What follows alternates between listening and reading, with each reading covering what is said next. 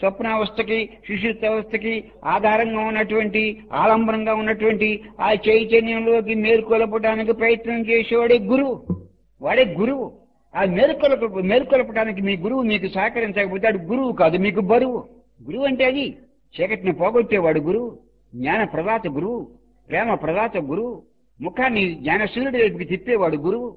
అంటే ప్రతి మానవుడికి కూడా తన మీద తనకి ప్రేమ ఎక్కువ ఉంటుంది. ఎంచేత? ఇంకా తన మీద తనకి ప్రేమ ఎక్కువ ఉంటుంది. తన స్వరూపంలో ఈశ్వరుడు ఉన్నాడు. ఈశ్వరుడు తన స్వరూపంగా ఉన్నాడు. అంచేత ఈశ్వరుడు తన స్వరూపంగా ఉన్నాడు. అంటే వాడికి తెలియకుండా తన ప్రతి మానవుడు తెలియకుండా వాడు తను తానే ప్రేమించుకుంటాడు. ఇంకే ప్రేమించకుండా ఉండలేడు. తను తానే మన మనం ఎందుకు ప్రేమించుకుంటున్నాం? మనం అంటే మనకి ఇష్టం.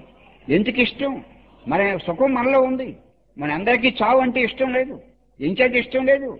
మన స్వరూపంలో చావు లేదు. అంటే మన స్వరూపం మన స్వరూపంలో చావు లేదు కాబట్టి మనకి చనిపోవటం ఇష్టం ఉండదు. మన వాళ్ళకి దుఃఖం ఇష్టం ఉండదు. ఏంచే మన స్వరూపంలో దుఃఖం లేదు. అంటే భగవంతుడు అంటే ఎవడు? భగవంతుడు అంటే ఉండటమే.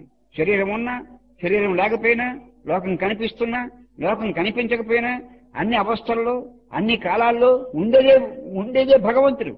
ఉన్నాడు.